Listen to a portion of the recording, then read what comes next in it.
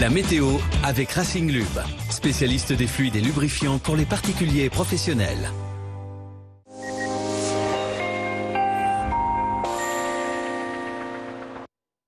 Ça donne quoi la météo pour aujourd'hui, Christophe Un bel arc-en-ciel, déjà?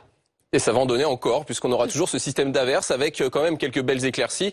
Là, c'était euh, du côté d'Amiens dans la Somme. À Paris, vous le voyez, les averses sont également circulées lors de la journée euh, d'hier.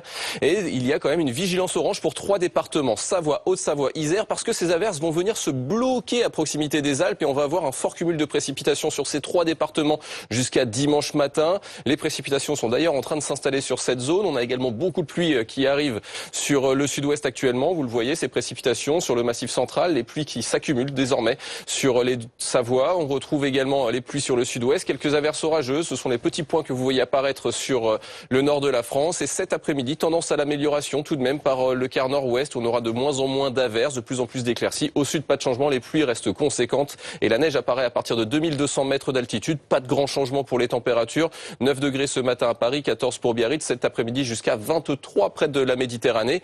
Demain samedi, on retrouvera toujours ces précipitations principalement au sud toujours très sensible vers euh, les Alpes. Et dimanche, amélioration assez franche avec température en hausse. Et il fera même chaud lundi avec plus de 30 degrés par endroit dans le sud-ouest.